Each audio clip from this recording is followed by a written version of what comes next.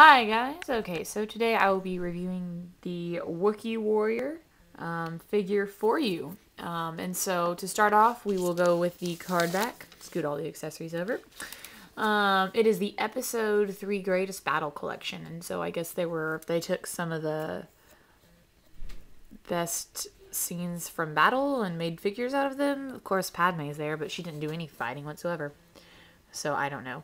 Um, this is the one that includes the hologram figure, um, and I am very used to getting, you know, like the little um, classic uh, Rebel fighters and then the Stormtroopers. I'll occasionally get in a Darth Vader, um, but I have never seen a Yoda before. Um, I thought that was extremely cool. What, you know, maybe one of the reasons why I picked this particular figure. Is that better? Yeah, better one, better two. Um, and so he is like super awesome. Um, I don't have a Yoda little hologram figure, and so it's a great little extra. I loved that they did these. They gave you kind of like a little um, extra Star Wars uh, piece to go uh, with your uh, figure that you purchased. Um, but here is the Wookiee himself. Um, the, there we are. So he's got lots of, you know, good detailing. I really liked the figures from this era, from 2006, 2005. Um, I thought they did good, uh, pretty good with articulation, and I think that the detailing is good, um, was you know really neat. And so you know he's got some like dreadlocks going on as most Wookiees do. Um, he's really really stocky. He's like super thick. Um, I'd like to compare him. Is his butt? Yeah, his butt is totally a different color than his legs. That's awkward. Um, but I'd like to compare him to um, like my other Wookiees. I only have three. I only have three other ones, but um, he's definitely like you know neat. I like him a lot. Um, I love Wookiees; they're my favorite. Um, so he also comes with this cool little helmet. It's almost got a um, Roman design to it.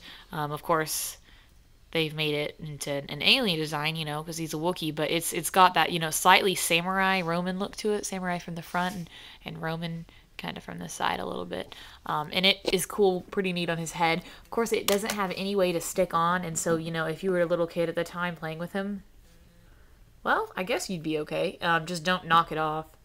Um, but I guess, yeah, see, um, it doesn't really have anything to keep it to stay because it's just, you know, carved out inside. Uh, but it looks cool on his head, um, and it fits well.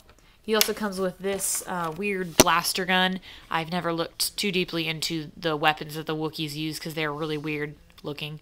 Um, but there is that, and somehow that's going to fit in his hand, and it looks like some sort of blaster rifle. Um, pretty pretty generic, I guess, um, but cool. Um, and it also comes with these weird things. I guess I should not have moved the mic. The yeah, um, these are supposed to be like shin guards. Um, according to the picture, he's wearing shin guards, and um, putting them on, they don't fit. His his legs are so wide they don't really fit. Um, it's kind of like wrapping a dead noodle around your leg, you know, like a, a limp noodle, uh, because the little grips on the sides, they just don't stick on very well. Give me a second, see if I can get it on. I just, I, they, it looks good from the front, but it's not practical, really. Um, they kind of pop off a little bit. Um, they don't really want to stay. See, from from the front, it's not bad, but then you, you know, it's not a good grip. And there goes his hat. So, um, you know, complaint about the armor. I think the figure itself is great, but the armor could be way better. I feel like, you know, they could have made, you know, put a hole in this, or put a little, um, put a hole in the top of his head, put a peg in there, um, give it a little ring inside so that it would fit snugly to his head. I feel like they could have done so much better with the knee pad or the shin guards. Um, but if, you know, more, more than likely it's just going to be a display piece, and so it's not going to be a big deal if you just can get them, you know, set on. Uh, but as a kid, you know, at the time when these figures came out, I would have um, wanted to play with him, and, you know, having his armor fall off probably wasn't the best. Um, but as articulation goes, he's as articulated as a Wookiee gets. Um, ball hinged um, knees, um, swivel hips, swivel torso.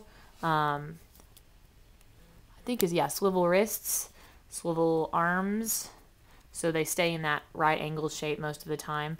Um, ball hinge shoulders, and I think his head is ball hinged, but there's so much up there that you can't really move it. Um, great, like I said, a display piece. It's wonderful.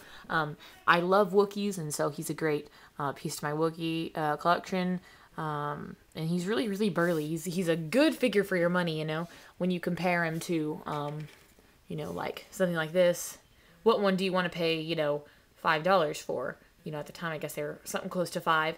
Uh, what one do you want to pay five dollars for? You know, or what do you think you're going to get the most money out of? So, um, and he comes with accessories, so and a really cool little holographic figure. And so I really enjoy this figure, um, and I'm excited to put him with my other Wookiees. Uh, okay, guys, so stay tuned for some more figure reviews. Um, catch you later.